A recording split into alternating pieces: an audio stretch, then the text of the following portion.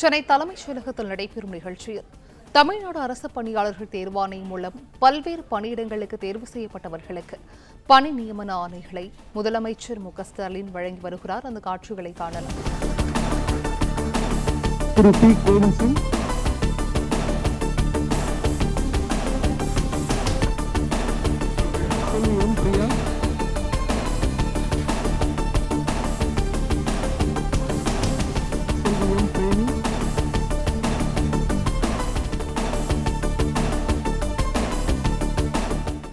சென்னை தலைமைச் செயலகத்தில் நடைபெறும் நிகழ்ச்சியில் தமிழ்நாடு அரசு பணியாளர்கள் தேர்வாணையம் மூலம் பல்வேறு பணியிடங்களுக்கு தேர்வு செய்யப்பட்டவர்களுக்கு பணி நியமன ஆணைகளை முதலமைச்சர் மு ஸ்டாலின் வழங்கினார்.